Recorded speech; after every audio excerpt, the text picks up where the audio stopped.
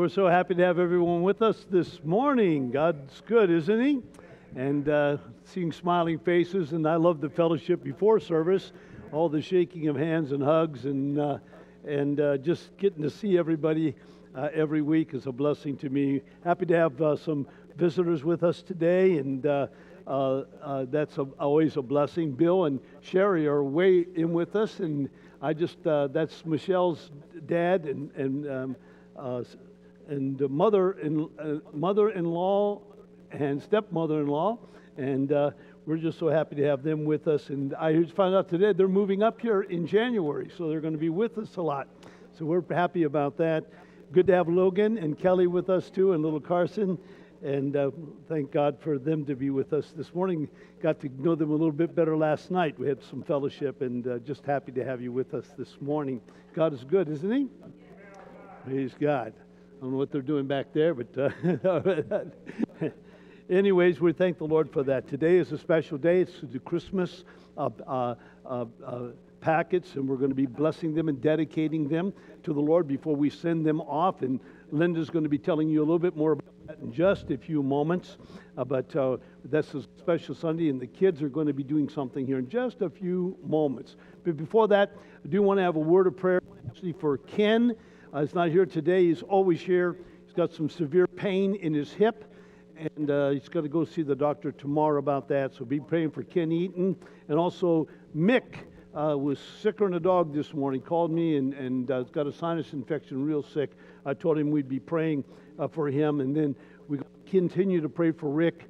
Uh, Rick's going in for uh, major heart surgery, I think a triple bypass and he's already had several uh, uh, heart surgeries. And so this is a huge deal. And uh, so that's going to be next week, Monday, not this week, Monday. So we'll be having special prayer for him next week. Uh, but we want to hold him up in prayer. I hope you all will be praying for him throughout the week. I know it's Thanksgiving week and everything else that's going on, uh, but always remember those that are going through six and very challenging things in life, and that's just the way. Trust my message this morning will minister to all of us when we deal with that. But uh, we want to have special prayer this morning, open up the service, and uh, then later on we'll be blessing the Christmas packets, and uh, that'll be exciting. Amen. George Stewart's sick. Oh, I didn't know that. Sorry. Yeah, he was not feeling well yesterday. Yeah, that's right. He's working here and he sounded rough. Let's hold up George in, in prayer too. Praise the Lord. Father, we thank you that we can come to you and that you're a great and wonderful God, and you hear us even before we ask. But you said to ask, Lord, to ask, and we are asking this morning in the name of Jesus Christ that, Lord, you administer to the needs of this body of believers. God, I bring these that are sick, especially Ken and Mick and George to you, Lord, that are facing uh, these illnesses. God, whatever it is, I pray that it would be resolved and bring healing, uh, Lord, to their bodies and touch them right now. Even Ken, take away that pain, that severe pain uh, in his hip, Lord. And we pray that uh, whatever it is would go away right now in the name of Jesus Christ. And we pray for Mick, heal his body, God, from this affection that's attacked him. And we'll thank you for it, Lord. And we bring George to you, all that he's going through, Lord, right now. I pray that you would strengthen his body. You know, he's been battling this cancer for so many years and the weaknesses that he goes through, Lord, never complains, never complains, Lord. I just pray that you would touch him and heal George this morning for the glory of God. And then we lift up Rick to you, God, as he's facing this heart surgery that God, the angels of heaven, would encamp around about him all this week, and that the peace of God would rule and reign in his heart. Even as he's facing this, Lord, he would have a confidence that you are in control. And we'll thank you for it, Lord. And bless this service, God. And Lord, bless all that have been a part of this uh, Operation Christmas Child. And Lord, let this be a special day of thanksgiving to you for all your blessings to us and we'll thank you for it. For we ask it in Jesus' wonderful name. And everyone said, Amen, amen. I want to announce, though, we have a Sunday night service tonight at 6 o'clock. And so uh, we'll be doing it without the screen most likely because of, of we can't have certain people here because they had other appointments. But we're going to sing out of the hymn book and sing courses that we know. We'll get it all together. Les is going to be helping with my wife on the piano. And we're just going to have an old time sing and a time of worshiping the Lord. And then I'm going to preach a message on the, on the power of Jesus' name. And uh, I believe it's going to be a good service. So we'd like to invite anyone who wants to come uh, tonight to be a part of that. And then there'll be no Wednesday night service, none. It's Thanksgiving weekend and everybody's busy. And uh, so please, we never have a Wednesday night service because of that.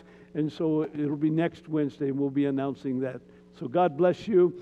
And uh, let's have a wonderful, wonderful celebration here this morning as they sing Joy to the Lord. Amen. Hallelujah. Everyone stand. Praise the Lord.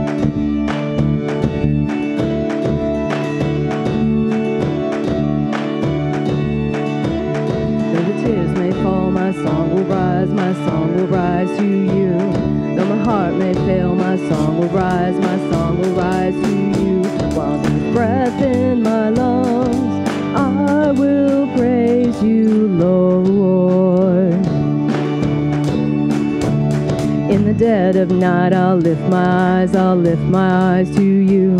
When the waters rise, I'll lift my eyes, I'll lift my eyes to you. While there's hope in this heart, I will praise you, Lord. The joy of the Lord is my strength. The joy of the Lord is my strength. Darkness I'll dance, in the shadows I'll sing. The joy of the Lord is my strength. When I cannot see you with my eyes, let faith arise to you. When I cannot feel your hand in mine, let faith arise to you. God of mercy and love, I will praise you, Lord. Oh, you shine with glory, Lord of light. I feel alive with you. In your presence now I come alive. I am alive with you. There is strength when I say, I will praise you, Lord. The joy of the Lord is my strength. The joy of the Lord is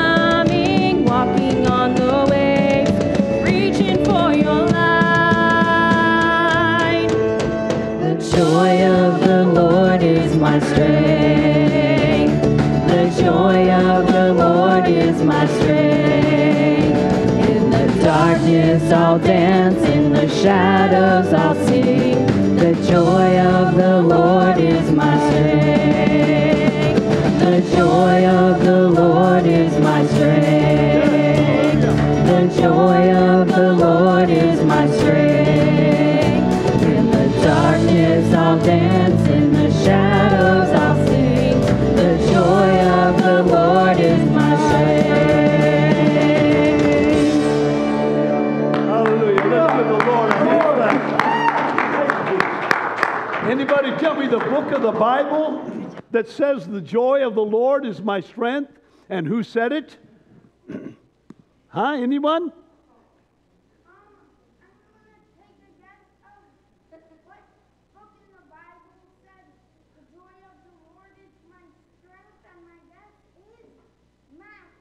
No. a long dissertation for a wrong answer. Leave it to Matthew. I think he's prejudiced. No. Nehemiah, and he said it, I think chapter 8, the joy of the Lord is my strength. Or it might be chapter 13, verse 8, I'm not sure. But it's in Nehemiah, I know that. And he said, The joy of the Lord is my strength. And that's why he was building the walls of Jerusalem, and he did it in 52 days. A miracle from God. And he said, My strength is in the Lord and the joy that I have in him. Isn't that wonderful? And that's what this moment is here for us, too. The joy of the Lord. And uh, we, have, we have over 50 boxes, and he did it in 52 days. We got over 50 some boxes, and we have several more that's still coming in uh, that I have to go get after church. But uh, Linda's going to take charge from here on in. How many? 70s. Awesome. 70 now, considering the fact Plus that we the got others. Wow. Praise. Let's Okay. give the Lord a hand clap. Boy, that's great. considering the fact that we didn't get started until September, then we had two weeks we weren't even here. This is so awesome. I am excited about this. That's 73 boxes that go to 73 children who have families that will hear about the blood of Jesus Christ. Is that not awesome? Now, the kids were awesome about bring. I use that word awesome a lot, don't I? Uh, we have certificates of participation. Every family that participated in making a shoebox or two or three or four or five or six, would, we would like you to have a certificate as a thank you. Uh, you have you can put your name, your family's name on it, and what we want you to do now is we want everybody that will to come and pray over these boxes. I presume that when you made the boxes, you prayed over them because God had to direct you on which child these were going to. They didn't, you didn't see their face, but God directed you. I'm praying. And uh, we pray over them on our homes, and we pray over them at church. They pray over them at the collection center. They pray over them multitude of times at the processing center. So we want these gifts to go to kids that's never had. We've got kids that's had and had and had. I've got nieces in my family that you can't even figure out what to buy them because they have everything. These kids have nothing. I've never been there to Africa like Pastor has, but I know they've had, these kids have nothing. Mm-hmm. So everybody that will, come up and uh, we're going to gather around the boxes, lay hands on them, and pray for them. And as families, take one of these certificates, and we are so thankful for you. Amen, amen, amen. Come on Let's up. come. Praise the Lord. All those that have participated, come on up and let's gather around. Everybody in the church can come too. Everybody come.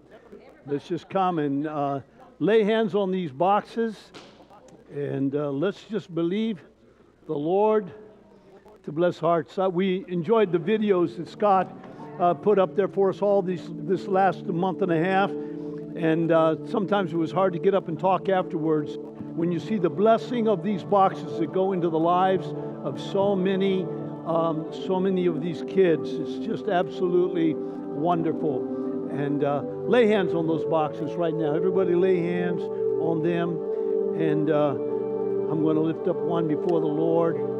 Hallelujah. Everybody gather around, lay your hands on them. Come on, Logan and Kelly, be a part of this. Come on up here. And uh, we'd love to have you be a part. Those little kids. Hallelujah. Hallelujah. Don't feel isolated. Praise God. Praise God. Praise God.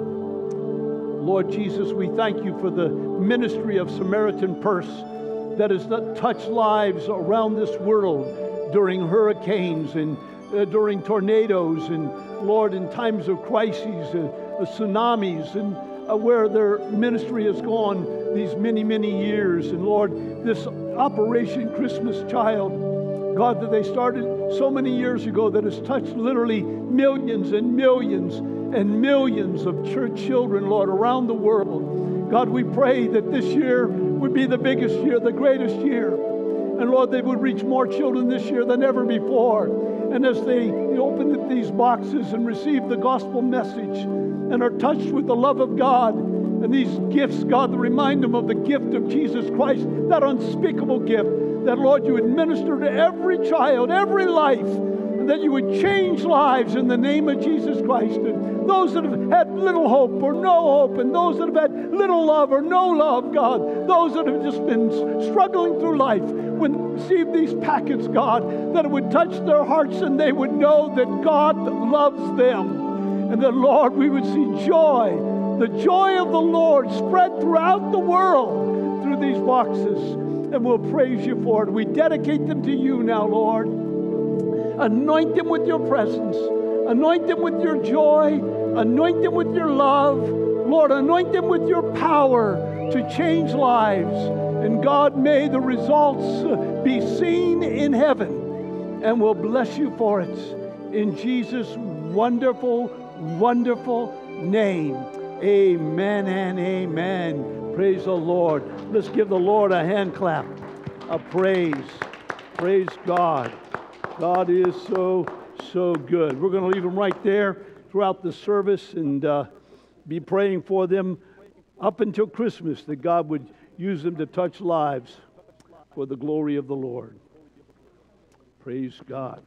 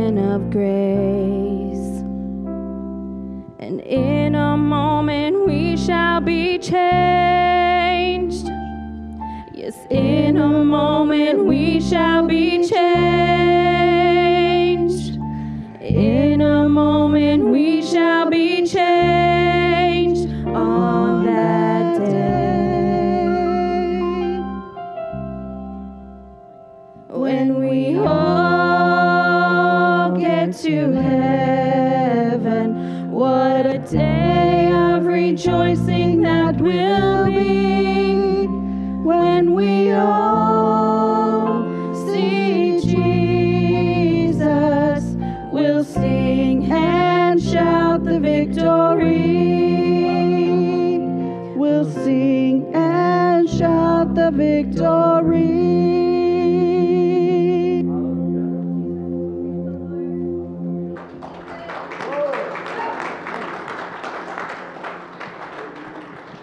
How I long to breathe the air of heaven where pain is gone and mercy fills the streets to look upon one who bled to save me and walk with him for all eternity.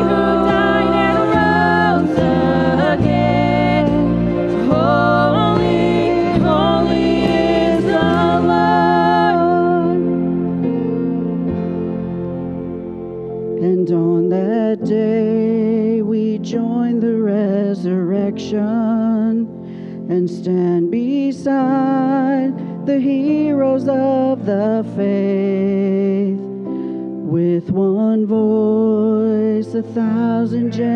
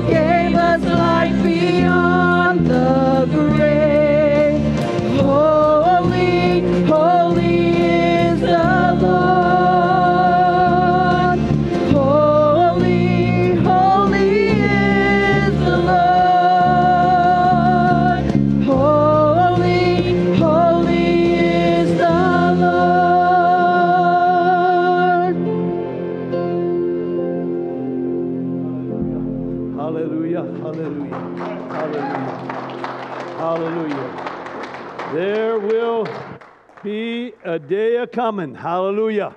And I hope you're all ready for that day because uh, some per- people are planning to go through death, but I'm planning to go through the rapture. And uh, I live in the expectation that at any moment, at any time, Jesus Christ could return, hallelujah, in the heavens. And in a moment, Paul said, in the twinkling of an eye, we'll be caught up to be with the Lord in heaven. That is the hope that the saints of God have, and what, what a hope to have on this Thanksgiving weekend, and uh, uh, certainly exciting to uh, be able to live with that expectation every day of our lives. Praise the Lord. We've been doing a series on uh, the little letters from the Lord, and we talked about Obadiah and Philemon, and we talked about uh, uh, Second John and Third John, and uh, we're supposed to be talking today about Jude, but because it's Thanksgiving weekend, uh, I'm going to be preaching a message on Thanksgiving because uh, I just felt led to do that. I have a sermon prepared, and I'll preach that next week on the book of Jude, fighting for our faith. And that's what the book of Jude is all about. And uh, these are the five books of the Bible that are just one chapter. That's why I call them little letters. And I've enjoyed preparing my messages and, and uh, meditating on them. And I was tossing in my heart which way to go. And I got a piece uh, uh, several days ago about just uh, preaching a Thanksgiving message. And uh, then I had to come up with one. And I've been working on that all week, trying to get something that just uh, gels with my heart and uh, I like to preach what I feel. Amen. And there's so many things that could be said, and so different ways to say it. And after being here 26 years, I've said a lot of things about Thanksgiving, and I don't know if I got anything new today, but I'm going to share out my heart to you. And if you'll turn to 1 Corinthians chapter 1, uh, verses 4 through 8, and I got a phone call coming in. Uh, and it's, it's, it's a spam. It's from spam. I, I got to take this one. It's important. Spam. Uh, I'm to I'm, I'm going to put them on airplane mode right now, real quick. If I can get into my phone. In fact, I feel like throwing my phone through that door right now. Uh, I can't even get into it. But uh, if you'll just be patient with me, there it is. We're covered now. Praise the Lord. I'm going to take my coat off. I can see right now. Uh, it's going to be one of those Sunday mornings. Praise the Lord. Four days. Thanksgiving. How many look forward to Thanksgiving? It's one of my favorite holidays.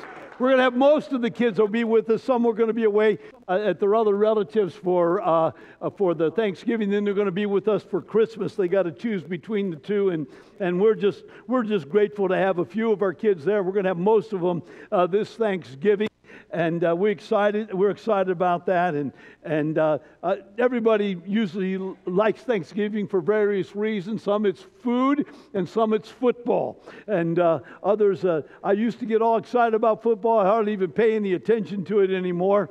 Uh, but uh, I do love the pumpkin pie and the food and the turkey and the cranberry sauce. Uh, I was a kid growing up, I hated cranberry sauce.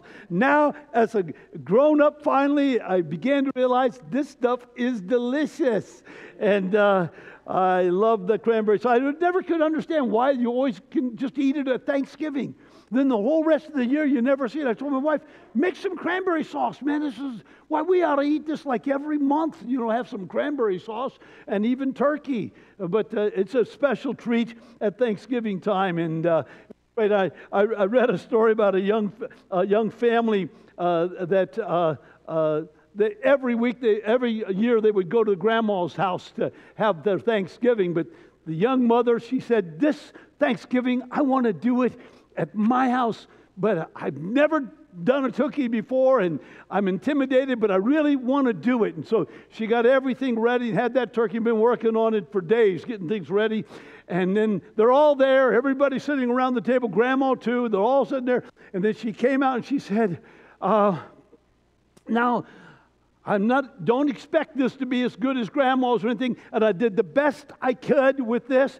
Uh, but if if it's not, if it doesn't satisfy everybody or you're scared to eat it, we can all just go out to eat. And so she went in to start bringing the food out. And when she came out, her husband and her son were sitting there with their coats on. what an insult, man. Didn't even give her a chance, but I love Thanksgiving. And uh, I remember the first time my wife and I had Thanksgiving. My wife, my mother used, to, her mother used to say, honey, you learn the piano and I'll do the cooking, but you learn the piano. So my, I became the guinea pig. When I got married to my wife, in the first meal she cooked for me, she started crying because she burnt she burnt the bread. Well, the bread, she put it in a, a, war, a bread warmer and it splashed water up on it. And so the bread was all squashy. And the, the peas, she boiled them so long, Susie, it boiled them right out of their, right out of their shell. And uh, the meat was so hard. We sit down to eat, and Sister Cover wasn't there. She was ill. That's why my wife had to cook. And she wasn't my wife that time, it was just my girlfriend. And we sit down to eat the meat, and she gave me the best piece, so I was able to cut it. But Brother Cover's there, and he's trying to cut this meat, you know, and he couldn't cut it. And the dog come up barking and said, barking, and, and wanted a piece of the meat. And my father-in-law looked at it, he says, You don't know what you're asking for. we about died laughing because my wife, uh, she didn't care the, too much for the joke. But uh, we got through that meal. That was many, many, many, many moons ago. That was about, uh, oh my, 50, over 50 years ago, 51 years ago, that that story uh, was told. But uh, uh, I love Thanksgiving. but it seems like today, so many people are so full of grumbling and just can't seem to see anything in life to be thankful for. And uh, they just love to complain and grumble about, about everything that's going on in their life. It's, they never can smile. Every day is a, a terrible day for them. You ever been around people like that? It's like, ah, cannot see nothing good. I got two phone calls this morning. Got one from Ken Eaton, and he said, Brother Roy, I'm not going to be there today. He said, I got pain going all around the side of me. And he, he says, and it's just killing me. He says, I can hardly walk. I'm using a cane now. And he says, it's killing me. I just can't make it. And I said, Ken, I understand. I know you're, you're one of the most faithful men in this church. And uh, I said, I understand, Ken. We'll be praying for you this morning. And he says, but, but, he says, I'm thankful that I can, I can talk to you this morning. I'm thankful that I got a brain to be able to think. I'm thankful that I was able to make my doctor's appointment for tomorrow. So I got a lot to be thankful for, but right now I'm in a lot of pain. I said, I said, Ken, I'm going to use you for an example in my sermon this morning. Isn't that good? And then Mick called me. He called me. He said, hi, hi.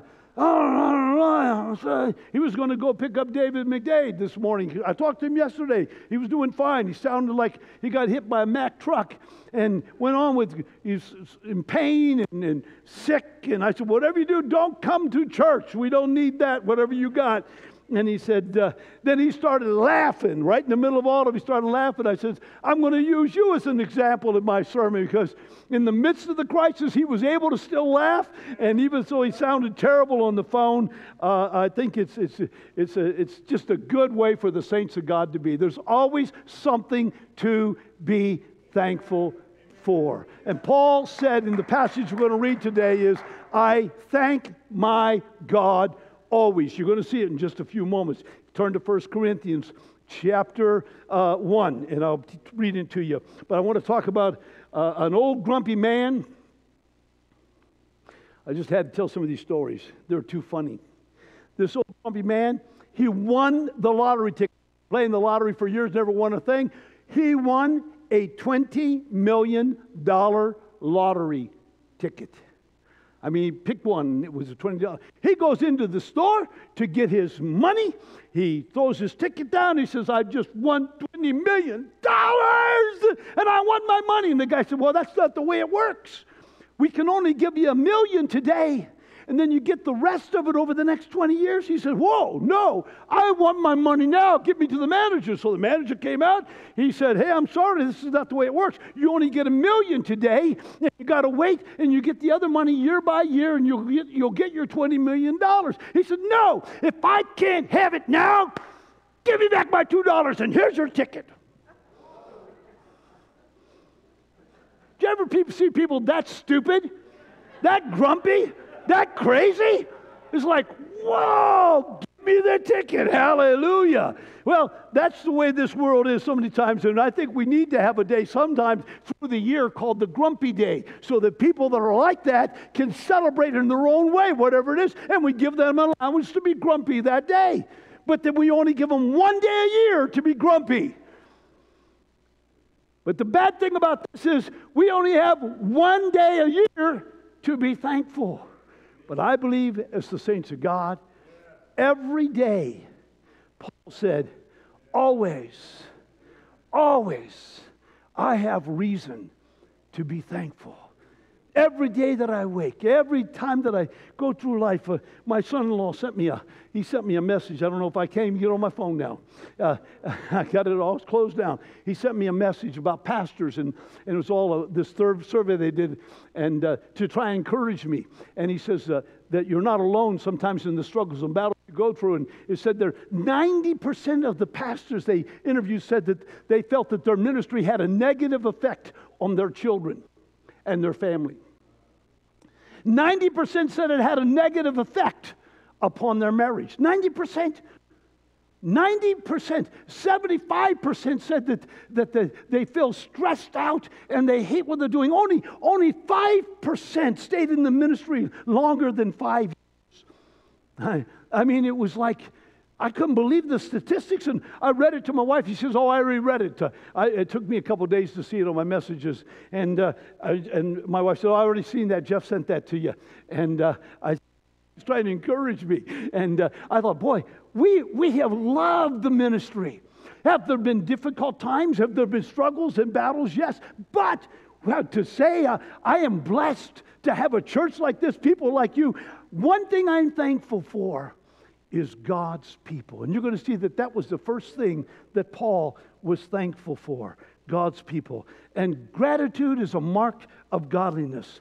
And uh, uh, one person said this when we consider all God's gifts and all that we possess, a grumbling mood of discontent gives way to thankfulness. Amen.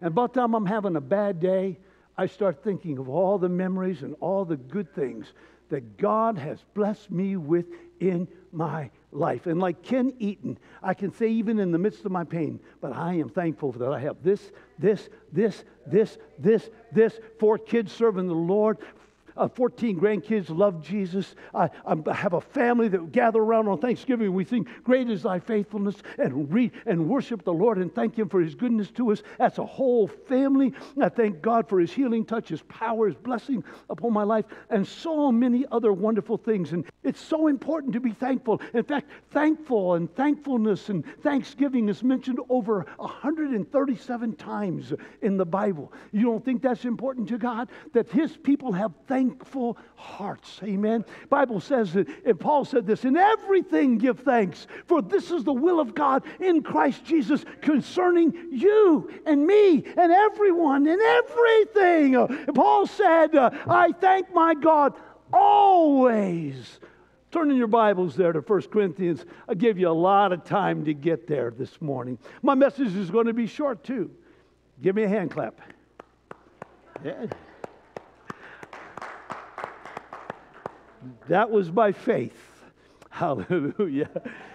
starting with, uh, in chapter 1, starting with verse 4, he says this I thank my God always on your behalf for the grace of God which is given you by Jesus Christ, that in everything ye are enriched by him, in all utterance and in all knowledge even as the testimony of Christ was confirmed in you, so that ye come behind in no gift, waiting for the coming of the Lord Jesus Christ, uh, who shall also confirm you unto the end, that ye may be blameless in the day of the Lord Jesus Christ.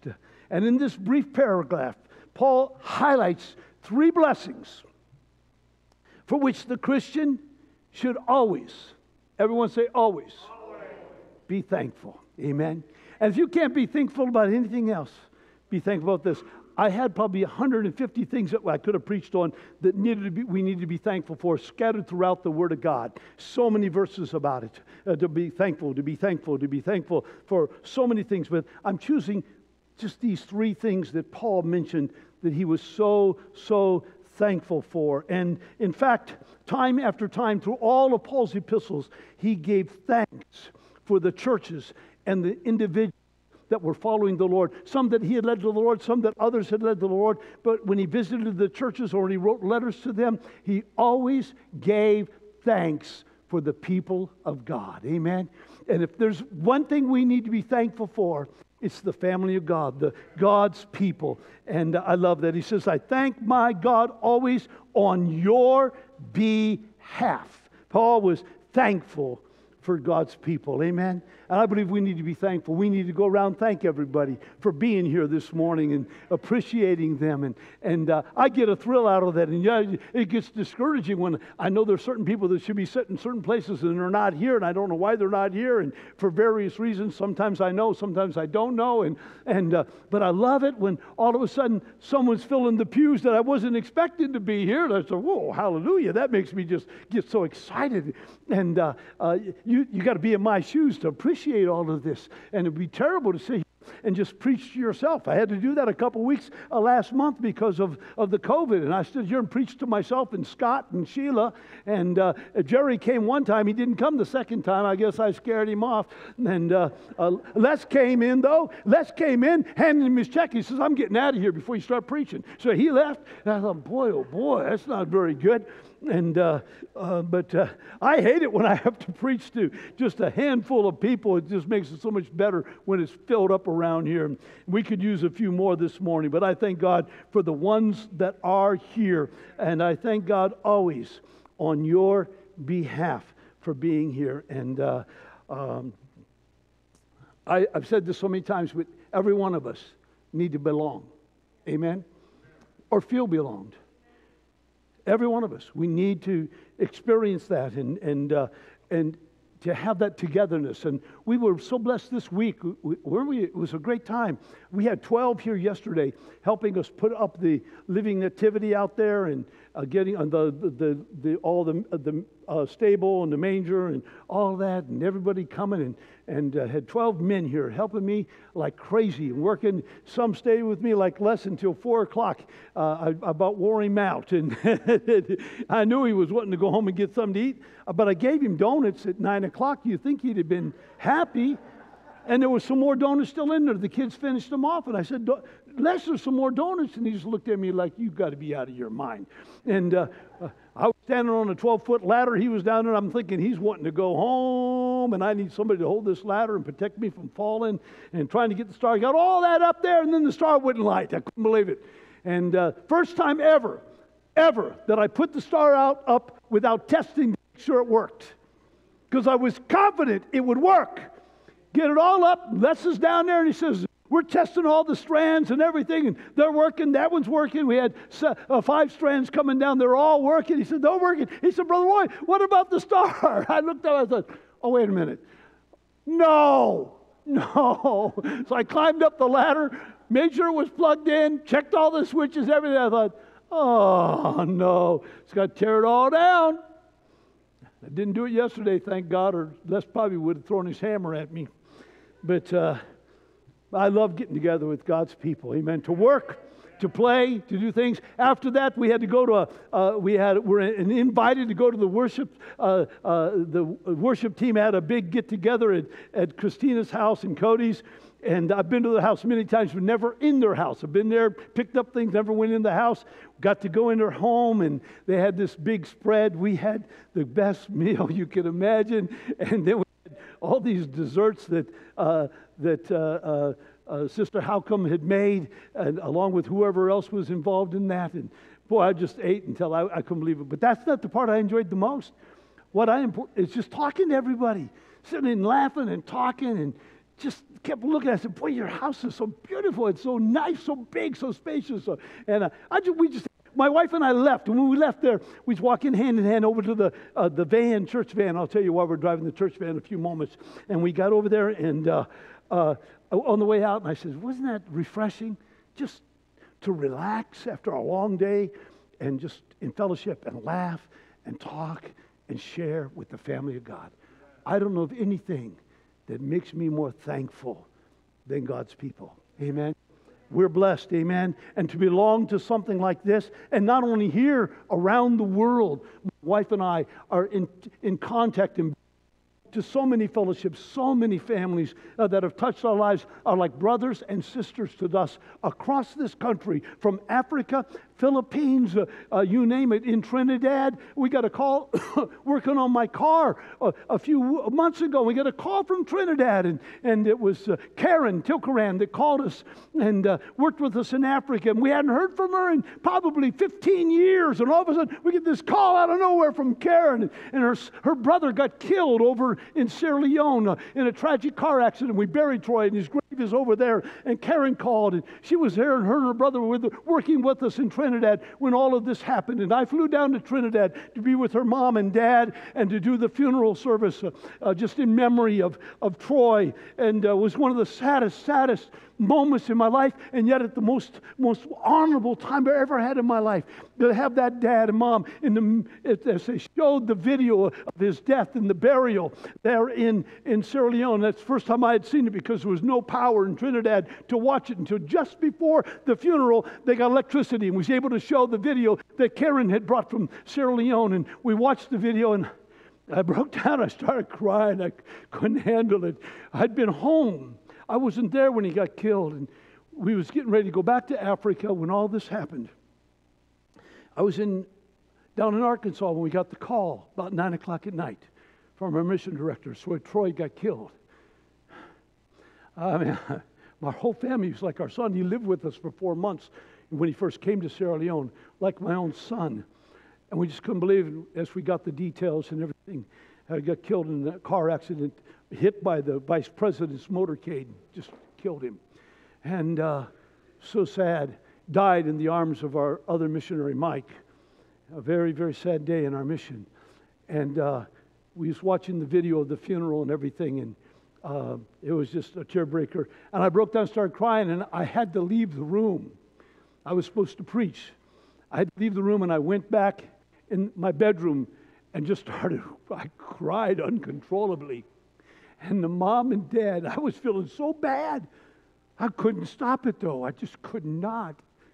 And the mom and dad came back there and put their arms around me and comforted me. It was the most precious moment in my life. And his dad hugged me so tight and he said, Now I can handle my son's death because I know how much you loved him.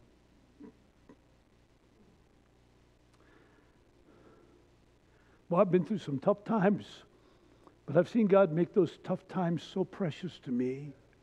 I'm so grateful to God for those moments that I've been blessed with a thousand times over. I'm a blessed man.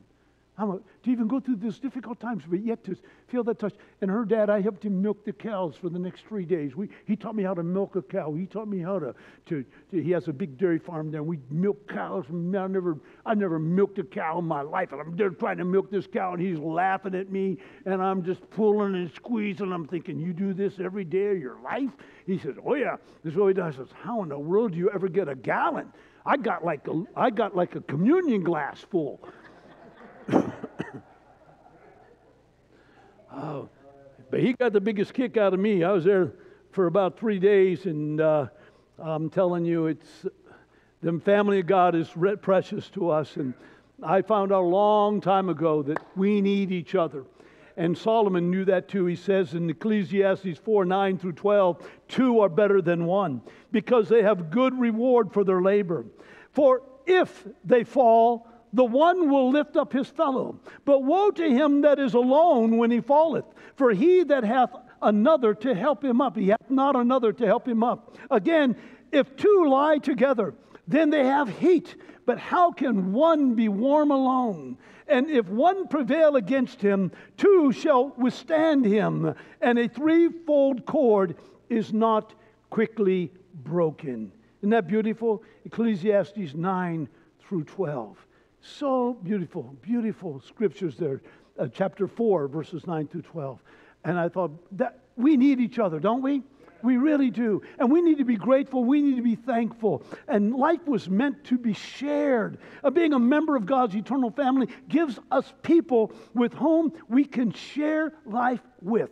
Phone calls, little cards, getting together once, twice a week and just hugging each other, talking about the things of God and, and enjoying. And throughout the week, I get phone calls. I deal with every kind issue you can imagine uh, in life. And I'm telling you, it floats my boat. It makes me feel that I'm needed. And also, I love making people feel that they are needed. And I like to be thankful for every, everybody that had contributed to my life around this world. And this message is going around the world right now. But I want them to know, I want you to know, this guy right here has a lot to be grateful and thankful to God for, especially God's people. Amen?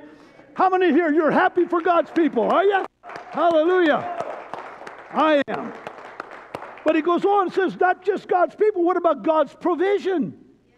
Verses uh, 5 through 7. He says this that in everything uh, ye are enriched by him, by God, in all utterance and in all knowledge, uh, even as the testimony of Christ Jesus was confirmed in you, so that ye come behind in no gift, uh, waiting for the coming of the Lord Jesus Christ. I blessed you, I blessed you, I've given you everything you need in life.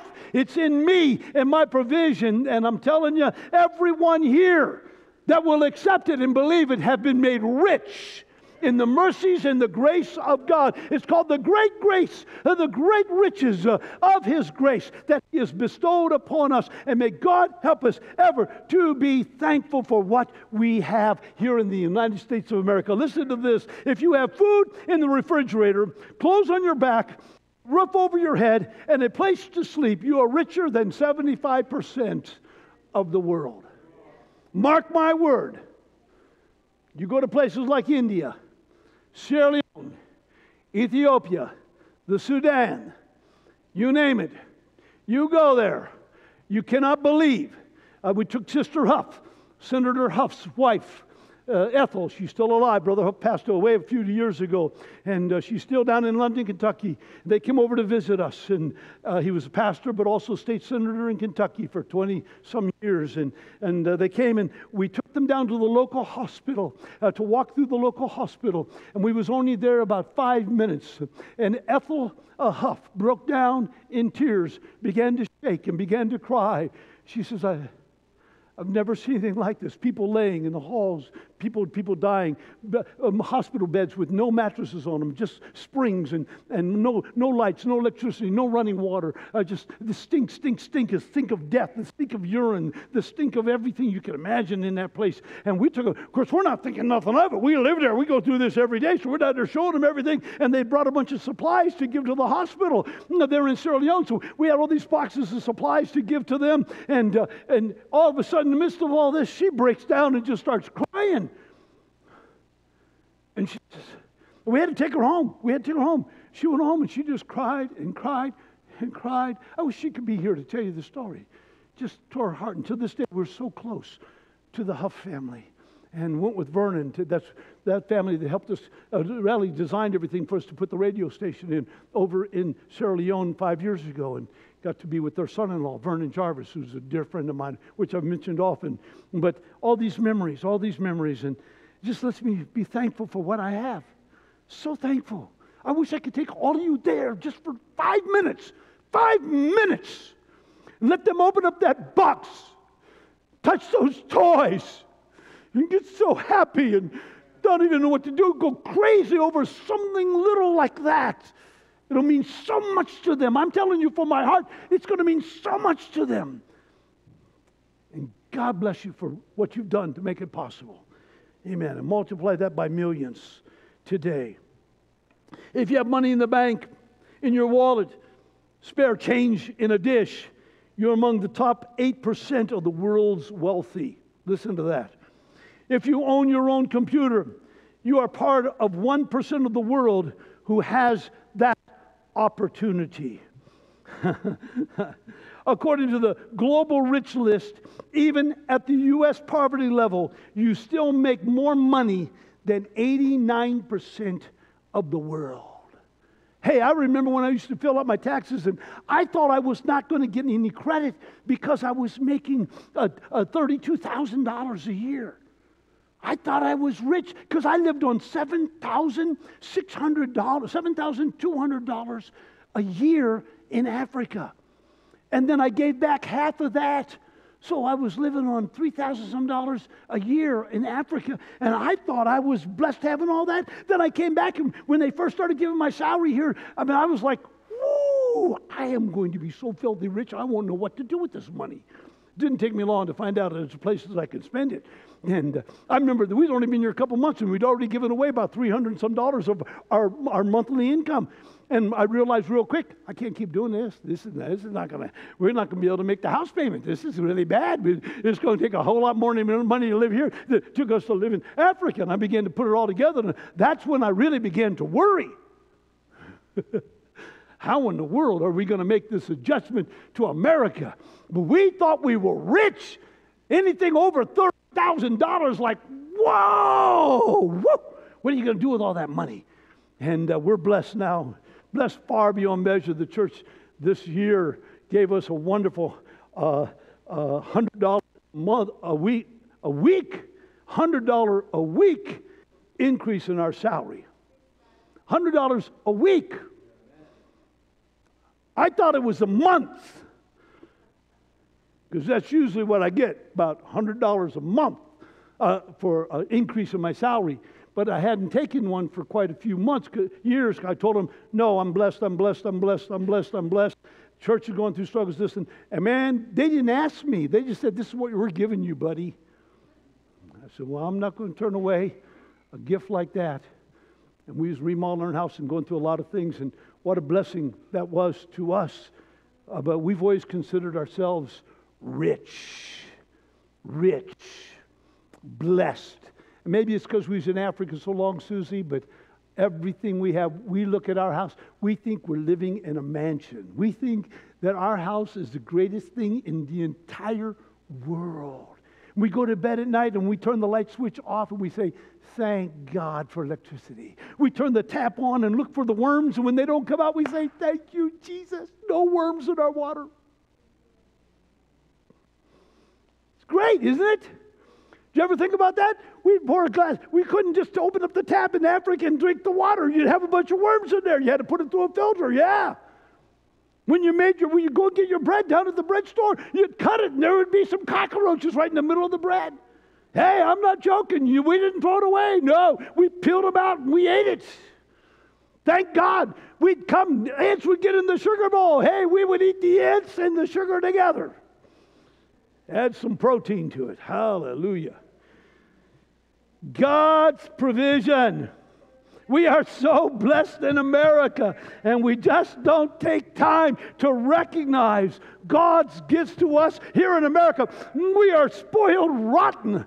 Rotten. We have so much. A, Sunday school a teacher once asked her class what they were thankful for, and a little boy said, My glasses. And she said, Your glasses? He said, Yeah. I'm thankful for my glasses because when someone gets ready to punch me in the nose, they look at my glasses and they don't do it. And he says, and then when the girls come to kiss me, which is not very often, but they do, they see the glass, they can't get close enough to kiss me. He says, oh man, it's worked both sides uh, to spare my life. Just a little boy, but I thought that was comical. And uh, I just want to recognize that every rising sun to start the day and every moon that rises, and stars that shine at night remind me of the goodness and graces and riches of God. He's a great and wonderful God. He's provided for us from the morning until the end of the day and through the night. And I, I, am thankful. I'm thankful for my taxes. Amen. I got, I'm thankful for my taxes because that proves I got a salary. Hallelujah. Salary enough that I got to pay taxes. Isn't that good? Hallelujah. Praise the Lord. I get to pay taxes. And the thing about that is, I'm turning 70 in less than a month. And for the first time in my life, I'm going to get a Social Security check. Hallelujah. It's coming. It's a, we've already filed. It's coming the first week in January. And I'm just praying, dear God, let me live just to, just to touch it. And the nice thing about that, it, within two years, I will have gotten back all the money from the government that I put in all these uh, 26 years I've been here. Because I never paid any Social Security tax when I was in Africa because I didn't make enough money to pay. First time I filed in Africa, they gave me $2,500 back, the government did because I had all these kids and living in poverty. And I thought, hey, I can't steal from the government. So I stopped filing my income tax for the next 20 years. I never filed income tax because I didn't want to rob the government. Stupid me.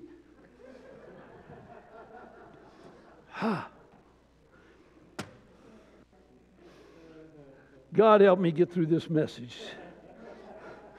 Be thankful for the clothes that kind of fit tight on you. You ever put on that shirt? I had one on the other day. It was kind of tight. I remember when I used to be able to wear it. I couldn't wear it. And that just told me I've got more than I need to eat. Amen. And that dessert last night didn't help things at all. I, I had like four desserts last night, and boy, I felt it this morning.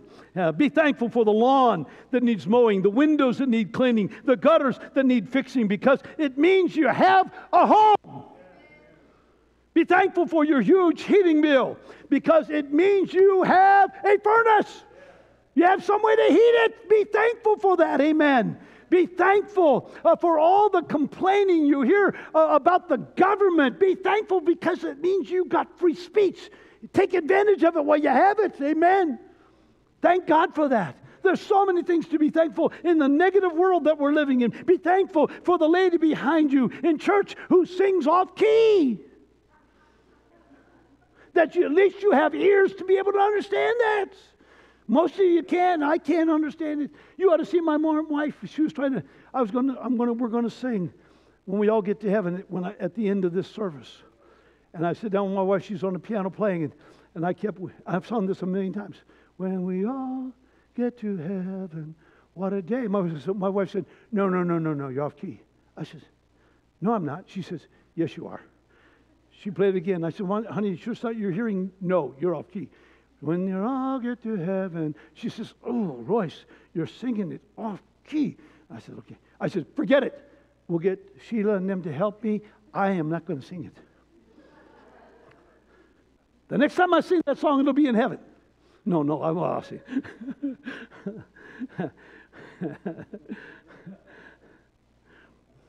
He showered us with blessings, hasn't He?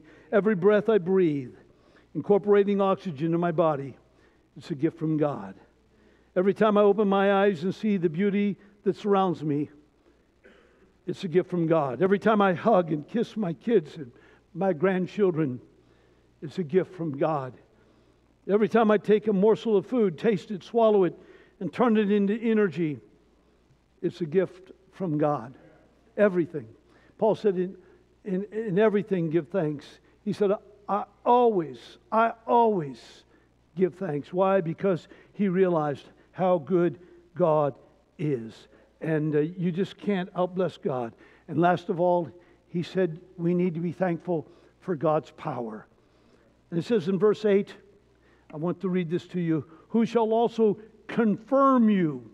That word confirm in the Greek means to enable, strengthen, and power. Keep you strong unto the end, that ye may be blameless in the day of the Lord Jesus Christ. Hallelujah. Isn't that beautiful? Let's be honest. Life can be difficult. Right, Rick? It can be difficult.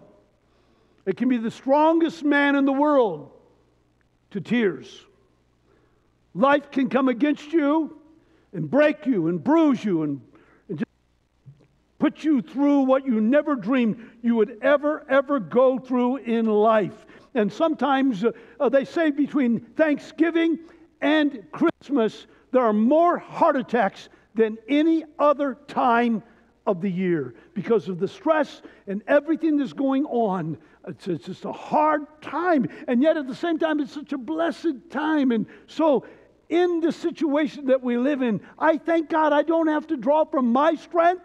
My abilities, uh, uh, all those things that I'd like to revel in that I have, I need to know and remind myself every day that all the strength I have, all the ability I have, all of the, the blessings I have come from the throne of God. And it's by His power, by His grace, by His enabling spirit uh, that I'm able to live every day and face every day as God would bless me. God is my refuge and strength, the ever present help in the time of uh, trouble, the psalmist said. And I believe that with all my heart. Every day I lift up mine eyes unto the hills, from whence cometh my help. My help comes from the Lord. He neither slumbers, he neither sleeps. Uh, he is always there to take me through every situation in life. And, and my suggestion to you is, is be thankful.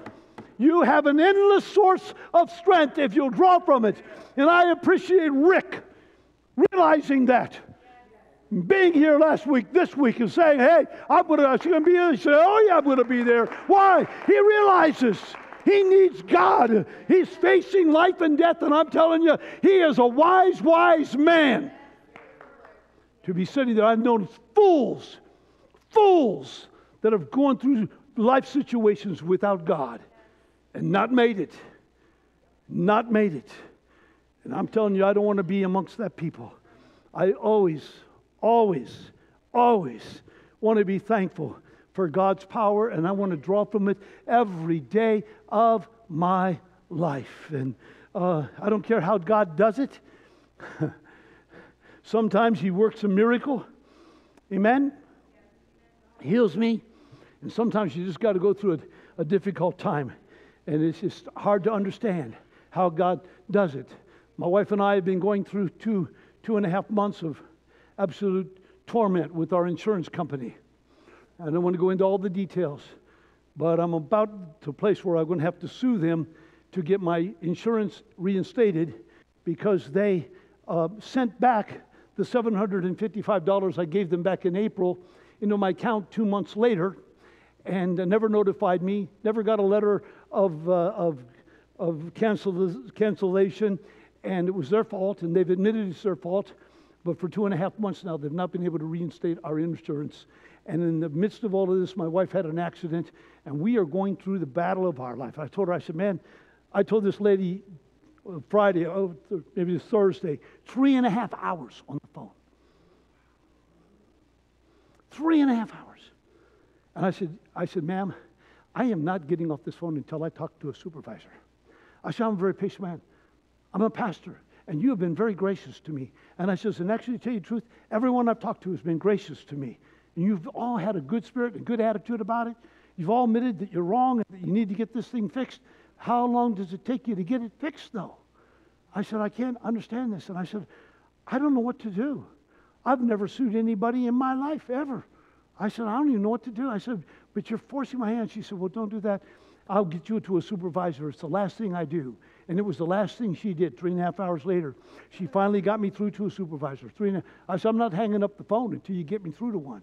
And she had him, and I could hear her typing, and he was typing her back and typing and saying, He'll contact me tomorrow. And she said, No. He says today. And he, she said, She says, I'm fighting for you. I'm fighting for you. And she's just typing away. And she kept, he'll come back and she say, I'm fighting. I says, I can hear you. I appreciate that. Man, she just kept going to town. And all of a sudden she says, He's going to talk to you.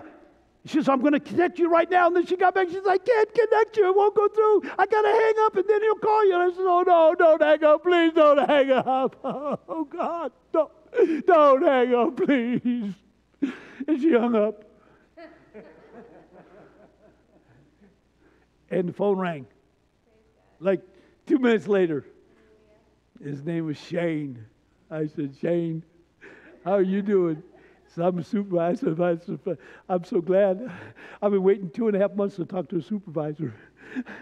I was about ready to fly to Boston so I could talk to somebody over there. But then my next call was in from Ohio, and the next one was in Pennsylvania, and the other one was in Florida. So I didn't know really where to fly to. and there's no one around here I could talk to. they don't want to talk to me because I didn't get my policy from them. I said, I'm, I'm desperate.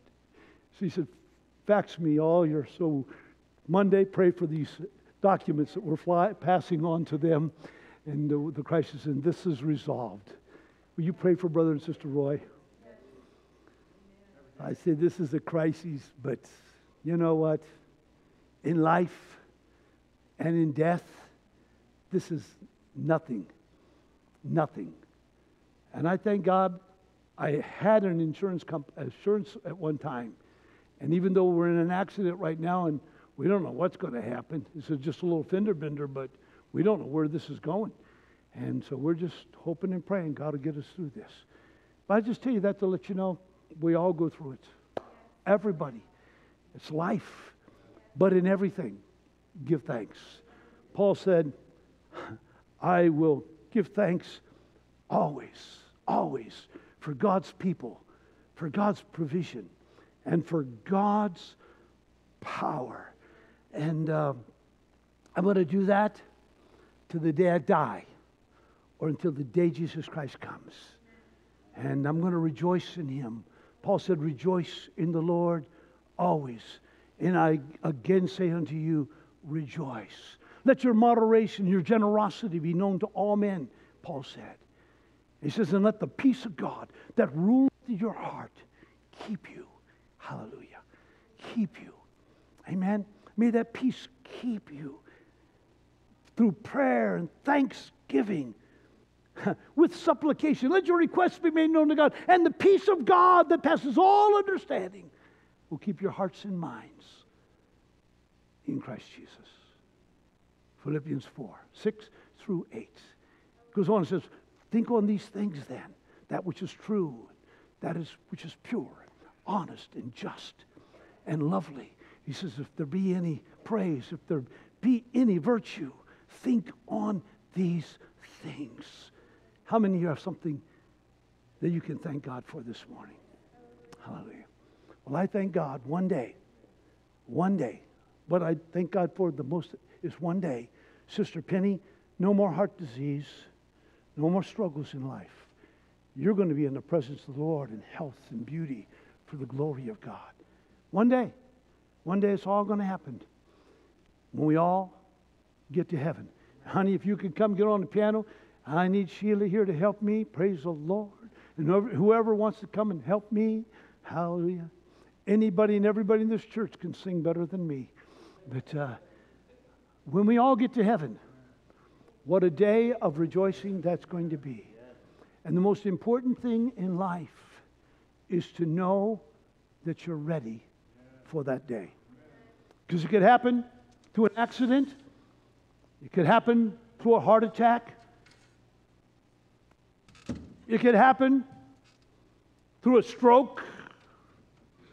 It could happen at any moment. It could be COVID. it Could be cancer. it Could be fast, could be slow. I don't know when it's going to happen. For me, I feel great right now, but I had a good buddy of mine. He was 44 and he felt great. Told his wife, he's pastor over here in Catoosa, Oklahoma, great man of God. Sit down. His wife brought him some coffee, He's sitting there reading his Bible. She came back about 20 minutes later to see if he wanted some more coffee, and he was dead. 44.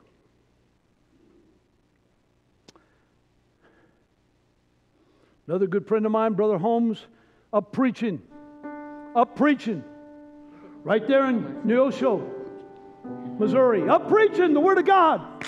Heart attack. My son, my daughter, they all watched him drop over dead on the platform dear friends with their kids, his wife to this day.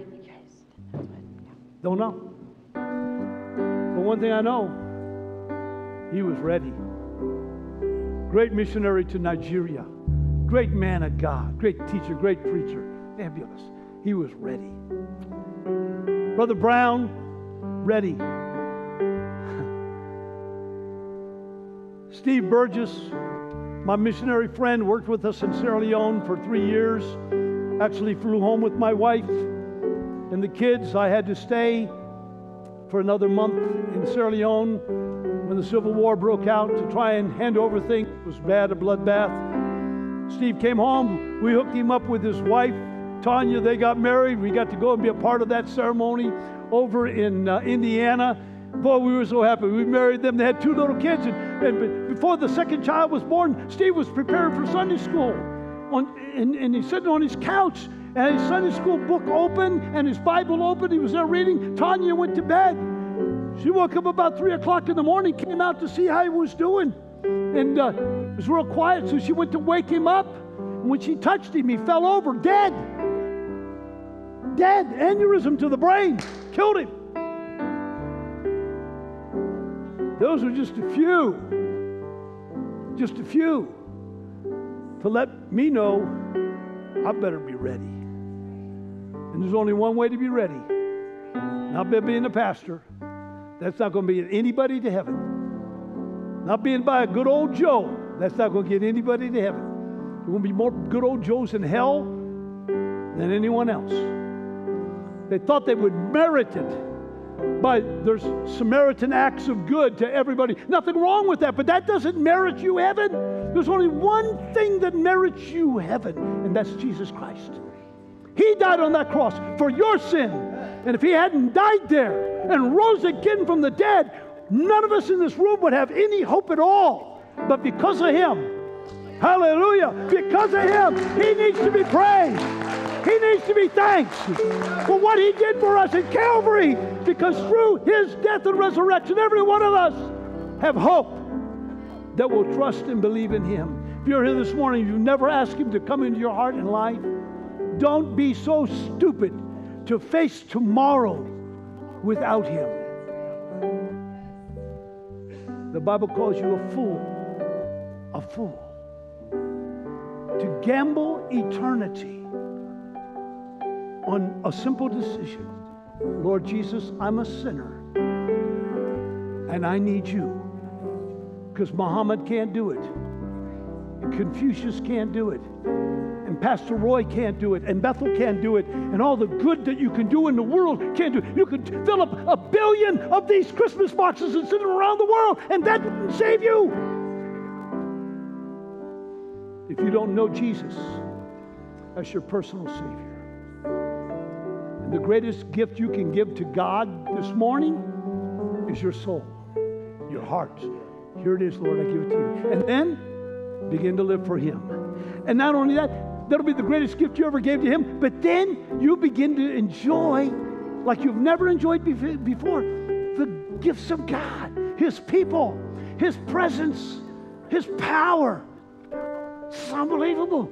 I'm telling you, I've been in this way for 52 years. I, I, I, was going to be an alcoholic. I was on my way to hell when my uncle got me off that floor and begged me to go to church with him. Here I am today, enjoying it because I made one little simple decision, Bill. I said, Lord Jesus, I am messed up. I need help. In that moment, that moment, my life changed. Rick has never been the same. 52, never. You asked my wife.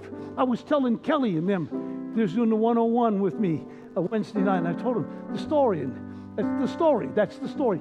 And you asked my wife, she was right there. She got to see her husband get saved. Isn't that wonderful? And she can vouch for everything I say because she watched me cry. She, uh, she watched me give my life to Jesus. She watched my life change. She's the one that invited me to go to the first youth activity they were having a, a Christmas, I mean, a new a, a Easter morning breakfast, and she asked me to go to the restaurant with her. I thought, huh, the pastor's daughter talked to me. She, she talked to me. Honest, I was thinking that way. I thought I was the dirtiest, lowest human being on the face of the earth, where I'd come from. And here's the pastor's daughter asking me to go with her, with the youth, to this. I mean, I was almost like asking me to marry her. I was ready. I was ready right then to say, I'll marry you. Yep, let's go. I've been watching her for four, five, three months. I've been watching her, thinking, man, if I could get her, she can play the piano, she can sing, she can, ha, she prays. She's the most godly girl in this church. And I said, boy, God, if I could get her. That's what's going through my mind. And she's over there saying, Lord, He'll do for me. But I didn't know that she was thinking that, and she didn't know I was thinking this. We both praying, and God brought us together. And we started going together. We've been going together ever since. Every night when I put my arms around her, except when she's mad. That's only a couple times a year. Then she sleeps in one room and I sleep in another room. Usually about midnight, I'll go in there and I'll go and say, honey, I'm sorry. I can't sleep. And she'll be there in bed going,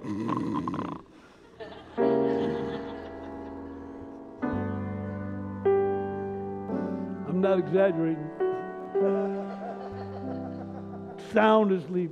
I'm thinking, she's not a bit worried about me.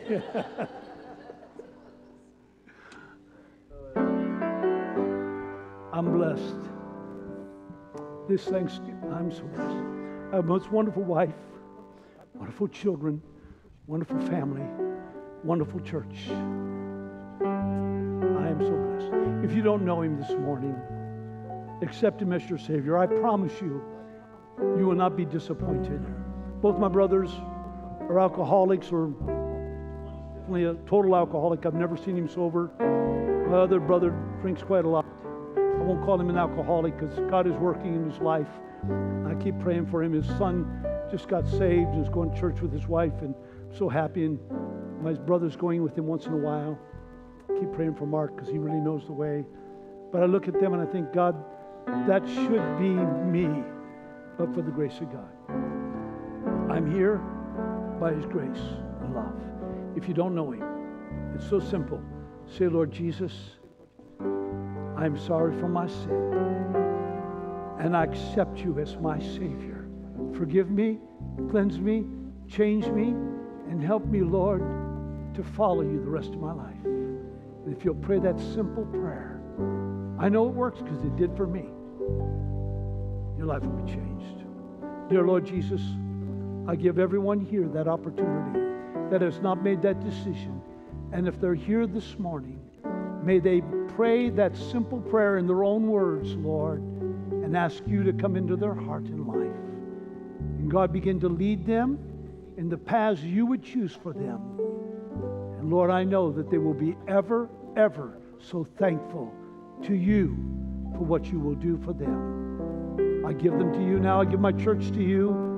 Lord, may we all rejoice in you, Lord Jesus, this day and be thankful for God's people, for God's presence,